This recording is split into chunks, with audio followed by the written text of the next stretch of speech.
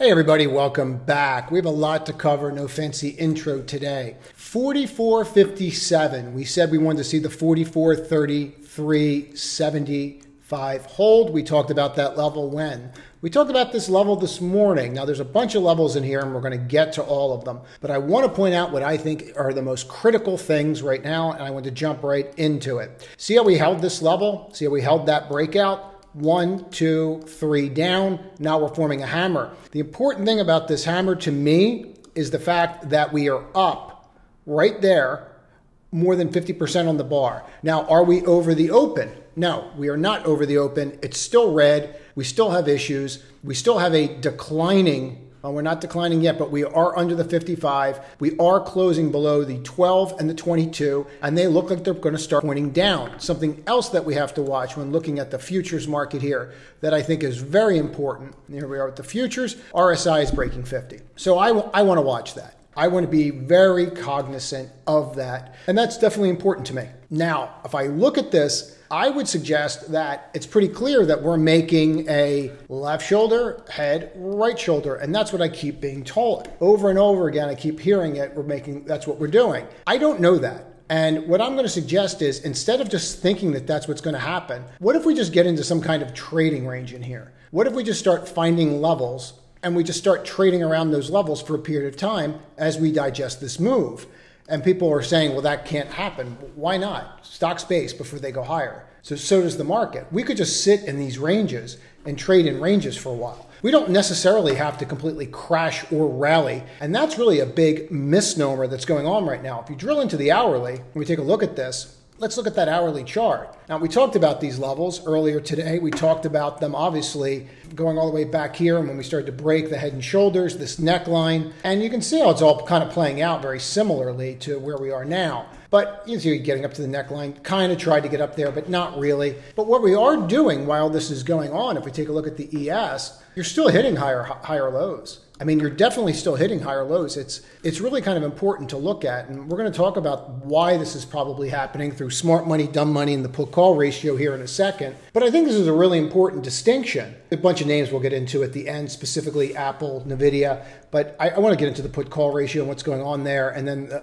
one way that I use it that I think people don't. But anyway, you see these levels, so you can see kind of how we're setting up, aren't we? And then what are we doing? We're making higher highs. Well, am I supposed to get upset because we were here and we didn't take out the low? Well, not really. We're still not there. does this look like something that I need to jump in and buy? Not particularly either. You could even make the argument you're looking at a huge head and shoulders versus that mini head and shoulders, and that's what we just were talking about. Even if you drop this on a four hour, that becomes even more glaring, doesn't it? that that could be wow that's definitely a head and shoulders it's not a head and shoulders until this right breaks down here and i'm just going to say it again i'm not going to be there for that so even if it is from here down we have to break through this for that to be a head and shoulders well that's still uh, 2 3% from there i'm not going to be around for that if that's going to happen what you want to do is just use that lower low and then kind of go from there and see where we're, we're going to go if we were going to break down I can't think of a better day to break down than today. I do understand where we are with the moving averages. We saw what happened today with the NASDAQ, and we can take a look at the NQ here on the four and see the same thing. We have that left shoulder head and that right shoulder. I think this is a really important distinction for what's going on out there right now. Now, if we drop our line in right here, you can kind of just get a, a better sense of it. Do I think we're going to break that? I have absolutely no clue. What I do know is what we were looking at yesterday worked fairly well, and I'll walk through it again. One of the core things that we were talking about yesterday, let's get rid of this 9 EMA, was these levels and how these levels are playing out. And that we were oversold, and that the, since we were oversold coming into it, chances of some kind of bounce were pretty good. So even if we are going to roll, which let's let's be honest about it. If we're looking at the Nasdaq right now, and you start watching them walk us down, this does not look like something that is really setting up to go higher. But there are some pockets here that we have to watch. See how they're fanning us down? That doesn't mean that you can't bounce up to here, bounce up to 15.4, bounce up to one of these necklines, resistance spots, and then break down. And that's more or less what probably is going to, you know, at least you're going to test it and then bounce. But we're grossly oversold here today, and people say, you know, RSI doesn't work. I would beg to differ. If you go and take a look at these levels and you see how they're acting, and again, the tool and whose hands it's in. If you start looking at anything that's below here, you bounced. You might not have gone up, but you sure didn't drop. In other words, you can see from here over for it took over a week or two just to work that off and start getting the overboughts again, luring people in with hopes and dreams and then smashing them, right? So it took a little bit of time there. So that's definitely something that we have to take into account. Now, if we drill into this on the daily, one thing that I think we should all take away is just understanding again what's happening here on the NQ. Now, if we look at this just on the daily and we drop in our moving averages, what's happening here? Well, this is something I'm not crazy about either. We're below the 55, we're below the 12. Well, we're sitting on the 12 and we held the 22. But I don't really like crossing here. I, I think you have to go on two assumptions here. And this is where my head is right now, because we're also setting up to break the 50. We're either setting up to base and you could argue that this is the handle that it's forming, and we could have that debate. We'll talk about it on Saturday. We're either setting up to base for a period of time, which you're going to have certain names move, and we're going to get into what those names look like at the end. At the end, after I go through put call and uh, smart money, dumb money, which I think is more important, or we're forming a head and shoulders. I think that they're the two premises that we have to work on right now. We're either going to base, or we're setting up a head and shoulders.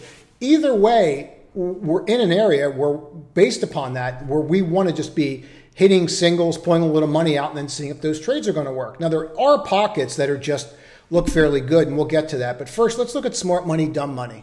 One of the things I get asked in the comments a lot is to just follow up on past things that we've gone over on like Saturday's video, which as everyone knows, these are all linked together. We do not call this smart money. We do not call this dumb money. We call this institutional and we call this retail. Very important for what we're about to go over. Now, we talked about on Saturday how we're seeing dumb money start to come back in the market and we're starting to see a rotation down on quote smart money or institutional money. We talked about what happened the last couple times that these types of spots hit and how it actually ends some kind of bottom. For what reason, we're not really clear on, but we went back and looked at it over 20 years. And what I want to do is just really follow up on what's transpired since these are starting to get further apart from one another, which they are, we're starting to see the market kind of hang in there a little bit. We're trending down, but we're not really breaking. And I think there's an important distinction here. We're not really falling apart. We're seeing the sentiment change a little bit with the dollar, but this is not really affecting us as much as one might think. Now, if we drill into this a little bit more, we can actually see how the dumb money is starting to roll back down but at the same time, we can also see how smart money is still pointing down or institutional money. And what we always notice is that all our peaks are when? All the peaks are when dumb money or retail is fully invested. And that kind of makes a little bit of sense. They're usually a faster trigger. And then these bottoms, some sometimes they're near at a trough level when they're underinvested, but not always. What you notice is that the bottoms, the true bottoms, are always when we're here. Now the question is, is that because that the, we're here on the bottom and that's why? Or is it because the spread is so great? In other words, is it the differentiation of the spread that's making that happen? And I'm not sure, meaning that if institutions are fully invested and retail's not, that marks a bottom. Whereas you can see that when retail's here and institutions are there, that seems to mark a top. So the top seems pretty clear to me. I mean, you guys can comment below, but the top seems much clearer to me than determining where the bottom is. What I find interesting is there's an extreme reading here. Uh, I think that the best thing for us to do in looking at this is to understand that the extreme readings are really when we're this far apart. And they're the ones that we should probably pay more attention to. What is starting to happen here is we're starting to get an extreme reading. Now, I don't know if that means that this is going to drop. And of course, this is not extreme yet. We just bounced off of this right here, as we talked about. But this is kind of interesting to me that retail's starting to drop and we're starting to see the smart money or institutions come in as well. Now, if we look at it from that perspective and then just zoom out and look at this on a 10 year, and we talked about the times that we saw this happen and the size of these gates, and you're seeing these gates right here and how they marked very particular levels over 10 years. We marked these levels off before. I'm sure you remember this and can see it, but I just think it's worth noting. For example, you can see right here that level and how that transpired we can see here and how that transpired. So I think that that's really important for us to just note for a minute. If we drill into this and just go on a six, you can see the spread and how once that spread widened, we were fine. And when it got tight, that's when we started running into the area. So there's something about the widening of the spread too that we need to pay attention to. And what I wanted to do with this, frankly, was just follow up on it and say, this is what's happening, this is where we're at, and this is what we should focus on. In other words, here's where we were last time. Let's make that an arrow. It's starting to bother me. So here's where we were last time, and then we started having a spread. Here's where we were last time, and we started having a. When did we top out? When we had a huge spread. Now, people say oh, it's not that simple. I'm not saying life is that simple. I'm saying that this is what happened last time and that the market decided to go higher last time. To ignore the same exact situation and say this time is different is probably not the way to go about this. It's probably something to look at and say, okay, well, we did just have a period of underperformance. Is that due to this? And now what do we do with that? In front of us is equity put call ratio detrended. I'm going to be very specific about this. Now, again, I get asked a lot to follow up on ideas that we go over. One of the ideas I went over yesterday was just the equity put call ratio, and I was showing how we were at an extreme level. Now, why this is important is not just because we're going to go through the put call ratio, but we're going to follow up on what we discussed yesterday, but we're going to add something to it so people can understand the significance.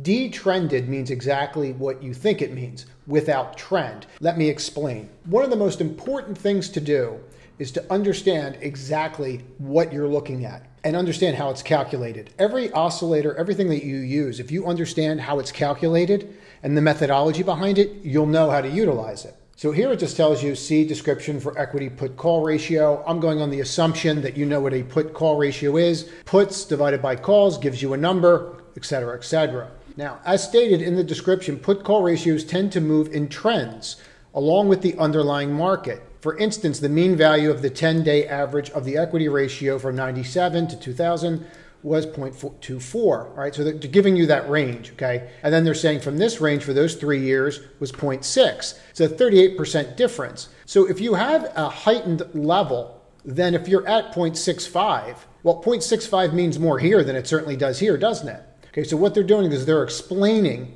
the differentiation between varying periods of time and how it might be heightened or lessened at a specific time, and why 0.65 here could be significant and why here it's nothing. This is significant and throws off our views of what extreme is and what is not, right? We just explained that. Very important distinction. To compensate for these secular trends, this indicator takes into account the 10-day average put call ratio and divides it by the 26 week average. Takes the current 10 day average and divides it by the 26 week average. So now we know what we're looking at. This puts most readings in the context of those seen in the past six months. So you get a six month gauge versus something that could be skewed as if you're seeing up here. Hence, they are taking out the trend. This virtually eliminates the bias of put call equity ratio exhibited depending on what type of market we're in. Whether you're in a bull market or bear market, doesn't matter. This gives you a better, clear picture of the underlying sentiment of option traders, which is what you want to do. The indicator is giving current reading of 20%, for example, that means the 10 day average is 20% greater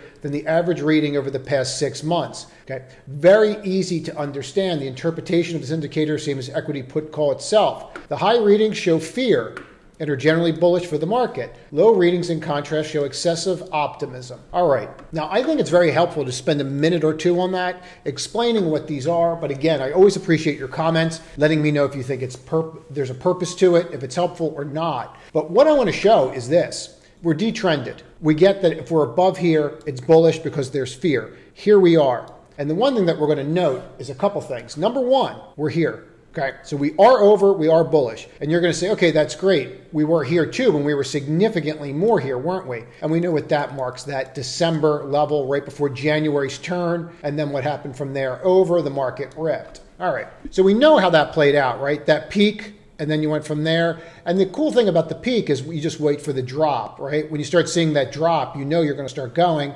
because they're just unwinding the hedges. Nonetheless, you can see these peaks here and you're like, well, that didn't really do anything. Well, the one thing you have to take into account when you're looking at context is are we in an uptrend or a downtrend? Well, from here over, we were in a downtrend. Now, I'm going on the, one big assumption here that we're going to stay in an uptrend or go flat. And when I start to explain this, all right, so if we start to look at this and say, from this downtrend, did it help? Yeah, it marked bottoms, but you still kind of went nowhere, right? Because we were in a downtrend. All right, so understand the premise of what I'm about to explain, understand that it's detrended, understand that it's that where we are, and understand that we are in an uptrend and we are not in a downtrend. All right, I hope that makes sense to everybody. So, what I'm going to do is I'm going to overlay the past three years, and what I'm going to suggest is that we just look at every time that we were here and that we were in an uptrend over here. So, there's only one time in this past three years that we were in an uptrend when we were up here, and it's right here. And you can see very clearly from this little spot that that marks some kind of bottom in that area right in here. And we can see that. But that gives us one data point, so that's not really a lot, is it? So let's go out five and see if we can find something a little bit better. And so what we would do is just mark this off again and draw a line and say, okay, let's look for the uptrends. Well, here's an uptrend, and that mark there.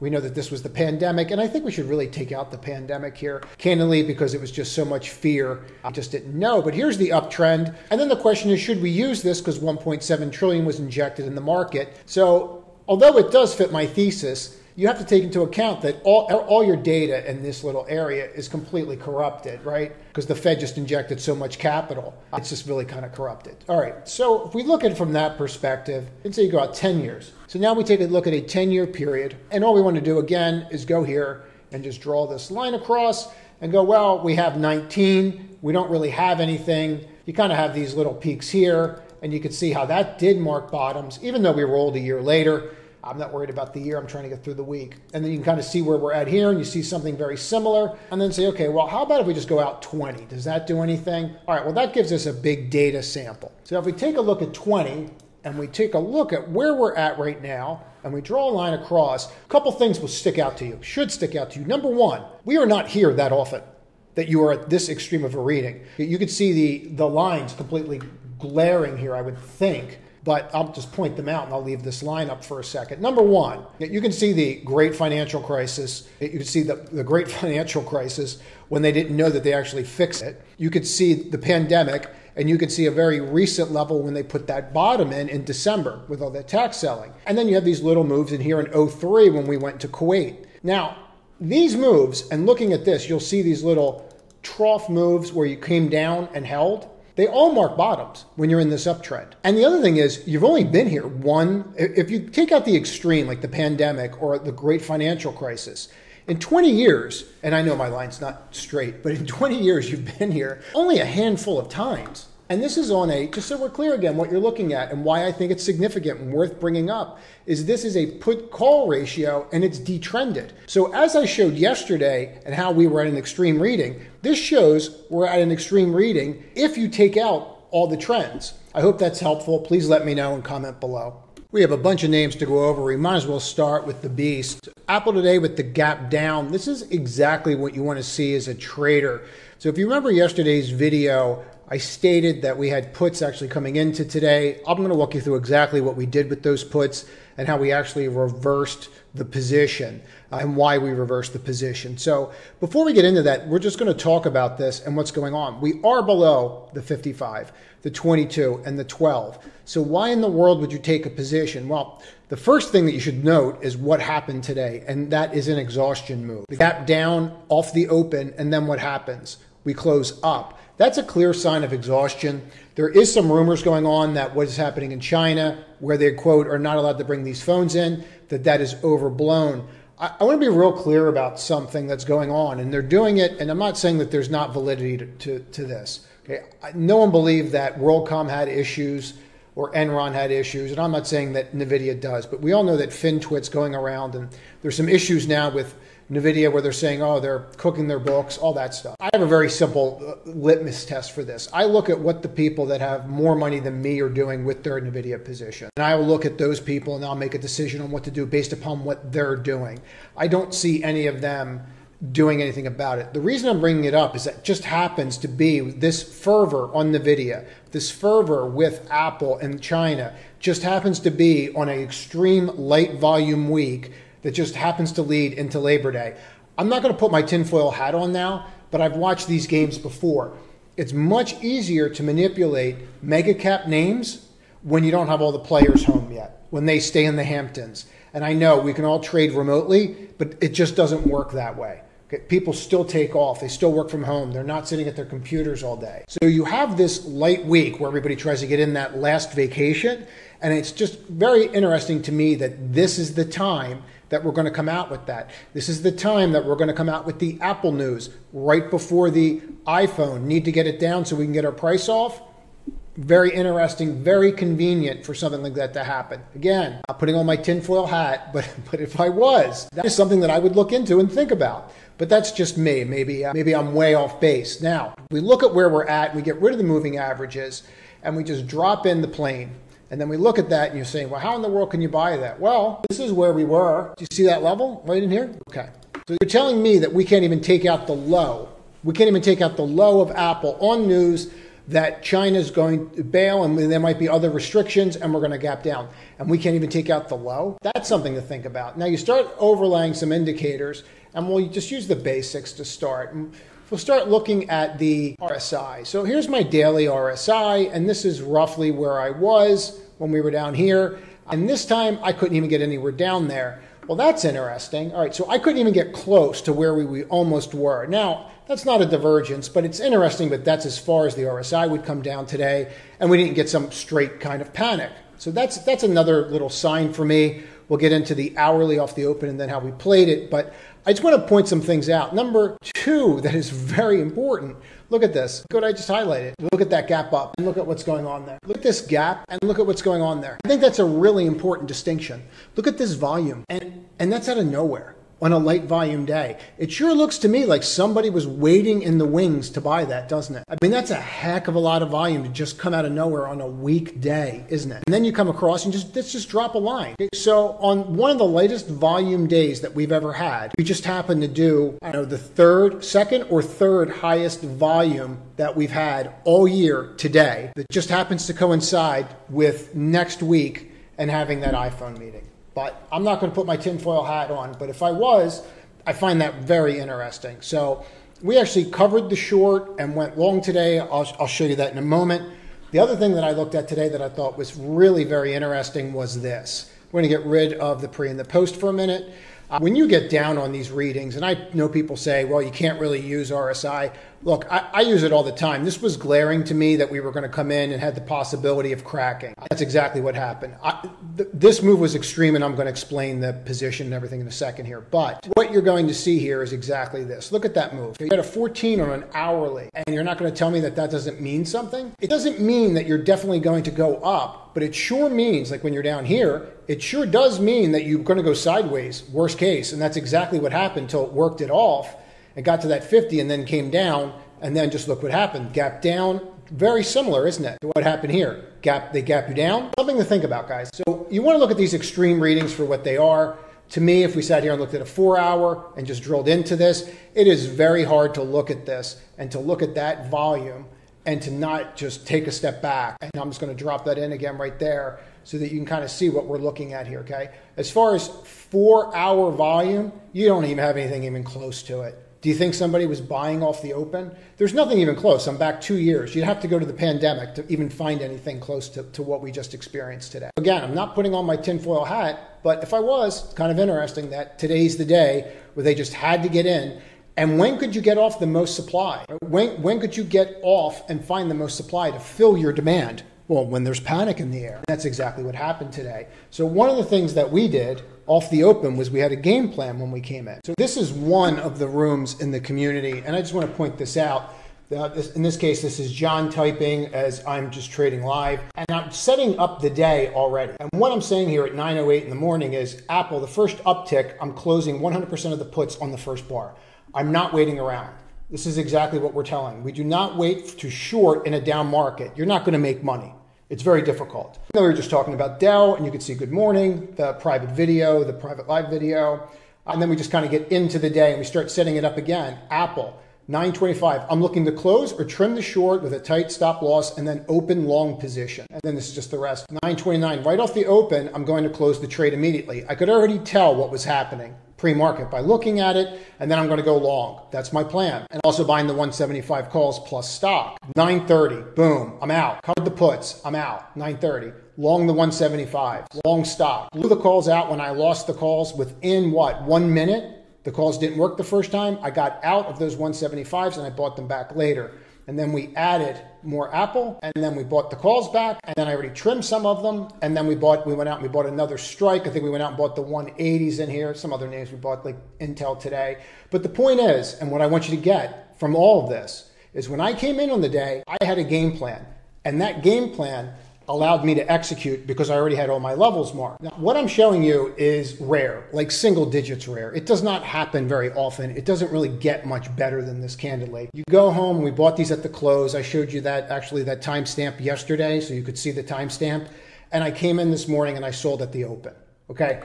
You don't get this that often. It's not going to happen. It's it's a ridiculous return. And you don't build a system around. But when you get something like this, you take it. I don't need this. This this percentage return is absolutely insane. I think I paid 50 cents for them, 45 cents, and we were getting out close to 5 bucks. I mean, it's just it's insane. So you just take it and you moved on with your day. Now, with that said, why was I able to do this and not get caught up in the froth that it's going to go to 170? Because I had all my levels marked off. The trade's already done. Listen to what I'm saying. The trade's already done before it's executed. I hope that makes sense. You know, comment below, but I really think doing videos like that where I work the, the actual trade in ahead is extremely helpful to people so that you can actually see live trades with live timestamps and so you get it. And it, it's not every trade that works. I mean, I did Meta today, it did not work. They, of course, they came out with some news in the EU the moment I go long it. I, I, we were going to review that as well. We're going to review NVIDIA and what's happening there. But what I want to point out is here's, here's Apple. The moment that my trade, and this is what I'm saying, this one minute that went in my favor, I'm not waiting around. I'm out because it upticked and gave me that wick right there. Let me show you what I mean by that. This is really important. So you probably want to watch this again. As soon as I got that wick, opens, gives me a wick, reverses, gives me the flim flam and drops. Could I have gotten more money? Sure. You want to fight over five or six dollar print when you're in at 40 cents. So as soon as I cracked here, I'm out of the calls. Boom. Drop reverses. Anybody know this pattern? You sure know this pattern if you've been watching those candlestick videos I did about a year and a half ago. One, two, three down. Encompasses right here. It's called the bullish homing pigeon. Reverses. Boom. Right back up flips the open, there it is. So this is where we started scaling into the stock. We were I, I bought stock off the open, stayed in it because we were so over. I mean, this this is just ridiculous readings, guys. I know people say like, oh, RSI doesn't work. Uh, okay, but give it more than a week. So if you look at this and you see how we start flipping, just start scaling into it, and that's what we that's what we did. We did quite well with the options. We did quite well with the stock. Please comment below. I think it's very helpful to do it that way instead of me showing you like you know, a cheesy dollar amount I made. I, I, don't think that that's the way to, to do this. I think it's a way to stroke my ego, which is not why I'm doing this. So you can see where we're at now. I have a hard time thinking that we're just going to roll over. But as somebody that is long the stock, I have to have a game plan. If I take out that low, I have a problem. If we take out that low, we have a problem. And we'll see how we do tomorrow. I don't see it with this kind of volume, but weirder things have happened, have, haven't they? So I have to be vigilant and I have to have a plan. So now you know how I'm viewing the world right now on Apple. Let's go through a couple other names here that are just glaring. So Affirm I got out on these wicks up here scared me. These drops and buys, look, guys, we just got to be real honest about what's happening with Affirm here. As I, the majority of my position, candidly, I'm out. I'm to be real candid here. This was earnings. Goldman coming out saying they like it, put a $16 target price on it, which still shocked me that they upgraded the, the darn thing. I've got one red bar since earnings. One. That tells you everything you need to know. This thing's under massive accumulation.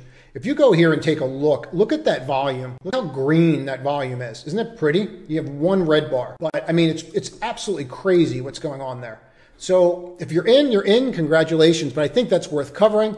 And then you have this where we're just seeing like this steady large cap growth names. We're seeing bids today, and we're starting to see that. Dell got a massive downgrade today by Barclay, $50 target price, hardly dropped.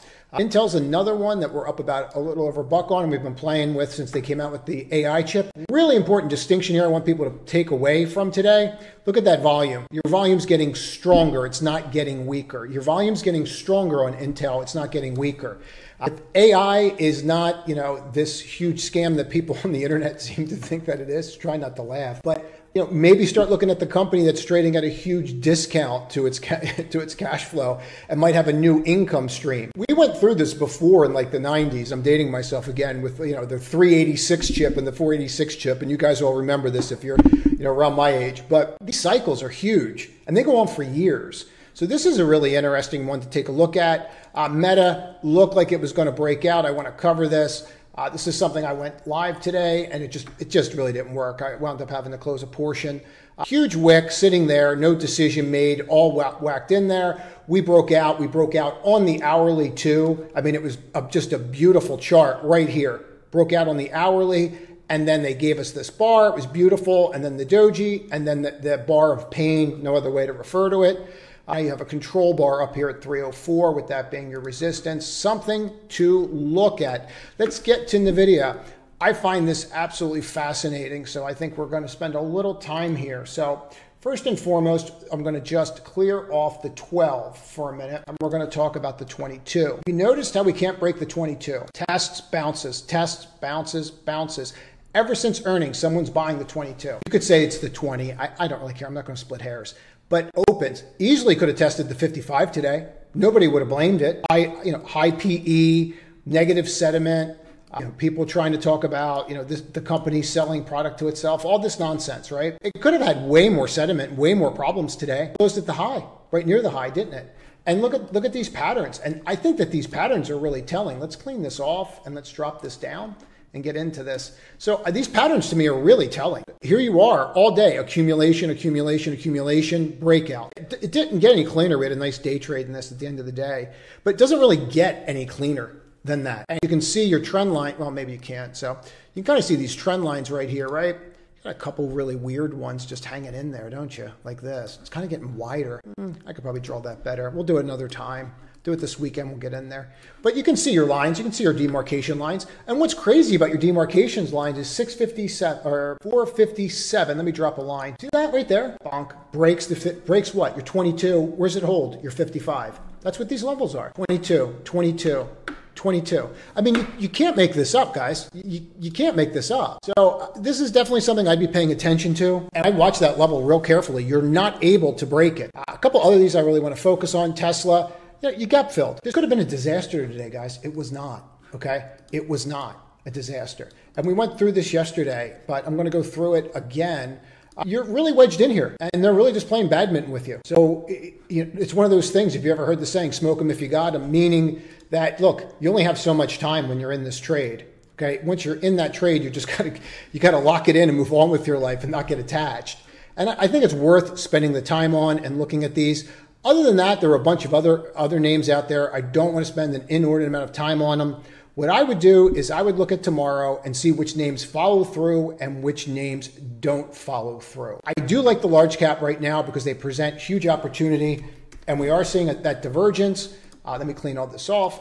XLC, we are seeing the divergence with XLC staying above the 55 and the SOX has broken the 55 and cannot get above the 500. So if I had to tell you where we're leading, XLC is leading. That's it.